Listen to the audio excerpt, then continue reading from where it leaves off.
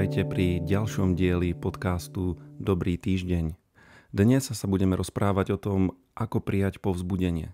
Každé povzbudenie je veľmi príjemná vec. Ale niekedy sa stane to, že sa nás niekto snaží povzbudiť a my sa nachádzame v takej zložitej situácii a táto situácia nás trápi a niekedy je ťažké potom prijímať povzbudenie, hoci môže byť e, dobre motivované a ľudia sa nám prihovárajú. A podobný jav vidíme aj v Biblii. Vidíme ho dokonca pri hrdinovi viery. Pri niekom, koho Biblia nazýva praotcom našej viery, pri Abrahámovi. Abraham je príkladom človeka s živou vierou v Boha a s osobným vzťahom s Bohom – Abraham žil v období pred zákonom, pred vydaním Mojžišovho zákona a preto má mnoho spoločného s nami, veriacimi Novej zmluvy.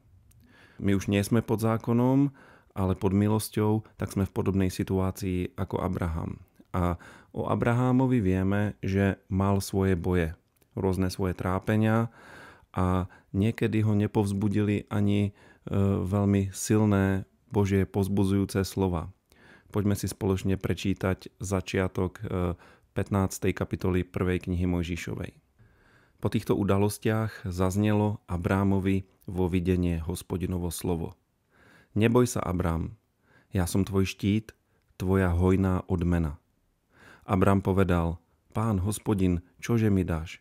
Veď odchádzam bezdetný a dedičom môjho domu bude damaský Eliezer. Abrám ešte dodal, veď si mi nedal potomka, a môj sluha, narodený v mojom dome, má byť mojim dedičom? Hospodin mu však povedal, on nebude tvojim dedičom. Tvojim dedičom bude ten, čo vyjde z teba. Vyviedol ho von a povedal mu, len sa pozri na nebo a spočítaj hviezdy, akých môžeš spočítať. A dodal, toľko bude tvojho potomstva. Abrám uveril hospodinovi a on mu to počítal za spravodlivosť. Vidíme, že Abraham mal veľké trápenie. Trápilo ho to, že nemá potomka, nemá dediča a že raz všetko, čo nadobudol, prípadne jednomu z jeho sluhov. A v tejto situácii sa mu prihovára Boh. Dokonca je napísané, že Božie slovo k nemu prišlo vo videní.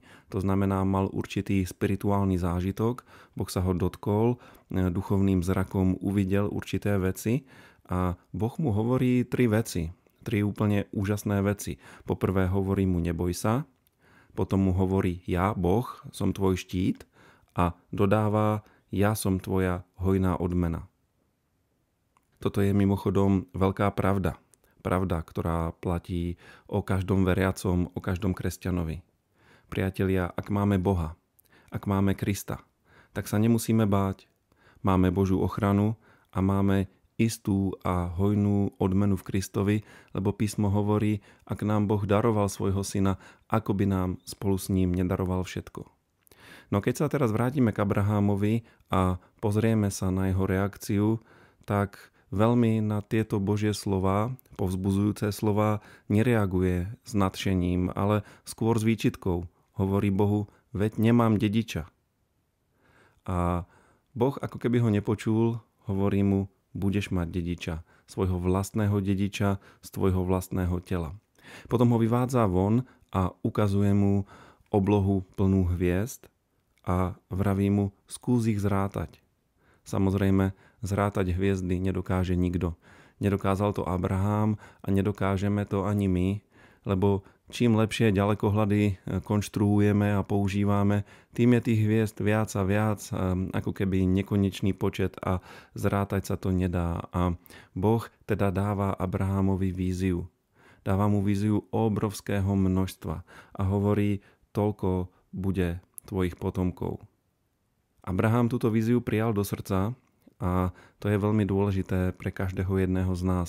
E, či už sa nachádzame v akejkoľvek situácii, či je všetko v poriadku, sme šťastní, radostní, že sa nám dobre darí, alebo bojujeme a zápasíme s niečím a okolnosti života na nás tlačia, vždycky je veľmi dôležité to, čo je v našom srdci. Potrebujeme mať víziu, Potrebujeme mať víziu, že bude lepšie. Potrebujeme mať víziu, že je Boh a tento Boh je s nami a toto musí byť prítomné v srdci a keď sú aj okolnosti iné, naše srdce nás vždycky bude povzbudzovať.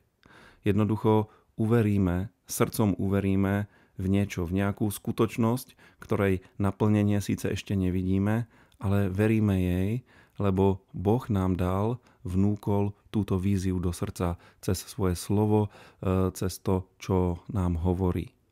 A ďalšia vec, ktorú potrebujeme urobiť, e, nielen uveriť e, Božím slovám, nielen prijať víziu, ale presne to, čo je napísané v tom texte. Tam je napísané, že Abraham uveril Bohu a bolo mu to počítané za spravodlivosť. A je to práve o tom, že my veríme Bohu. A toto je obrovský rozdiel medzi ľuďmi, ktorí veria v Boha, a to vám dneska povie väčšina ľudí žijúcich na tejto planéte, že veria v Boha, dávajú mu rôzne mena, majú rôzne predstavy o tom, kto je Boh, ale Abraham uveril Bohu.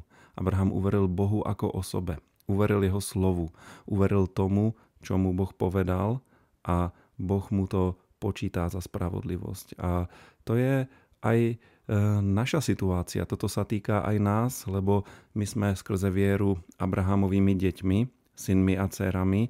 A my sme uverili v Krista, uverili sme touto Abrahamovou vierou a naša viera v Krista, v to, čo pre nás urobil, e, keď za nás zomrel na kríži, keď na seba zobral všetky naše hriechy, E, každú našu vinu, každú našu bolesť, trápenie, keď niesol všetky naše nemoci, neduhy, keď sa stal prekliatím, aby od nás e, vzal každé prekliatie, aby sme mohli byť požehnaní práve tým Abrahámovým požehnaním, tak keď tomuto veríme, keď sme uverili Kristovi, v Krista, keď sme uverili Božiemu slovu a učinili Krista svojim záchrancom, tak aj my máme spravodlivosť z viery. A preto je dôležité, aby sme verili Bohu, aby sme verili slovu a aby sme srdcom uchopili víziu dobrých vecí. Je dôležité, aby sme zobrali vážne každé povzbudenie Božieho slova. Všetko to, čo nám Boh hovorí.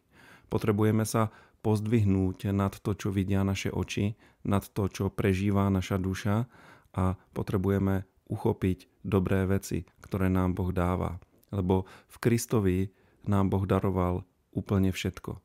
A Kristova kázeň, alebo Kristova služba, keď začal slúžiť a kázať, sa začala veľmi jednoduchým výrokom.